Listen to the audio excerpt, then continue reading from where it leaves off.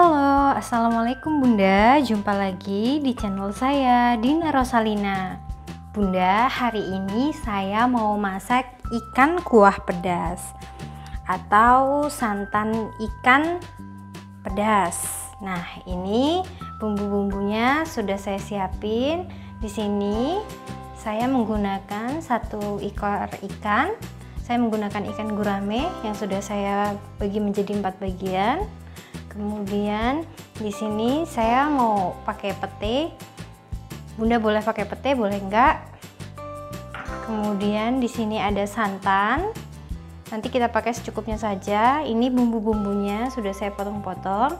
Ada kurang lebih 8 siung bawang merah 3 siung bawang putih.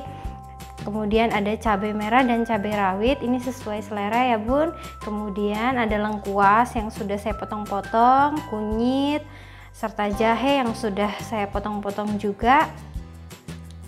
Kemudian uh, di sini ada serai yang sudah saya geprek dan saya ikat simpul. Kemudian ada dua lembar daun salam.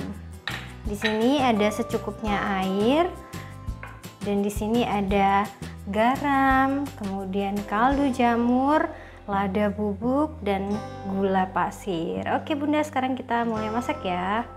Nah bunda ini tadi sebelumnya saya sudah bumbui ayamnya menggunakan garam dan lada bubuk dan saya diamkan selama 30 menit. Nah ini sekarang saya sudah panaskan minyak di wajan. Sekarang kita mau goreng ikannya.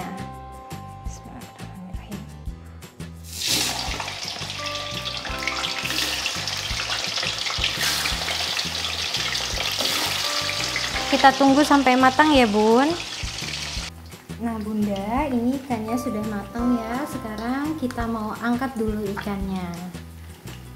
Oke bunda ini dia ikan yang udah kita goreng tadi. Sekarang kita mau mulai numis bumbunya ya. Di sini saya sudah siapkan minyak. Udah panas ya. Sekarang saya masukin bawang merahnya serta bawang putih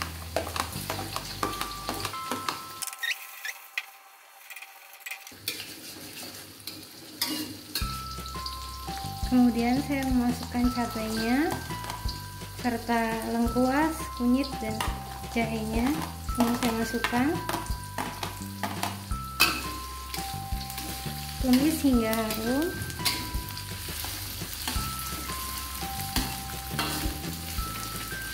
Sekaligus saya memasukkan serai dan daun salamnya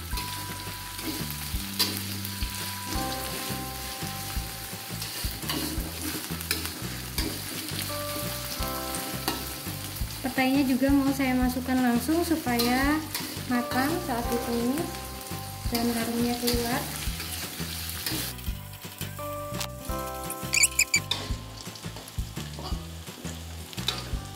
Oke bunda ini udah mulai layu.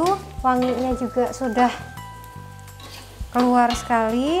Sekarang saya mau masukkan santan secukupnya saja. Bismillahirrahmanirrahim. Kita aduk terus. Supaya tidak pecah santan. Oke bunda ini udah mulai mendidih kuahnya sekarang saya memasukkan garam, kaldu jamur, boleh bunda ganti dengan kaldu ayam atau penyedap rasa lainnya. Uh, kemudian lada dan gula pasirnya saya masukkan semua. Kita aduk lagi.